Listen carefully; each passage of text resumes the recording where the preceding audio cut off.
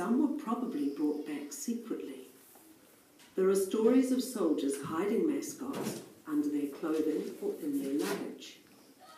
Soldiers and animals had been through a lot together, and the soldiers couldn't bear to leave their animal friends behind. Glossary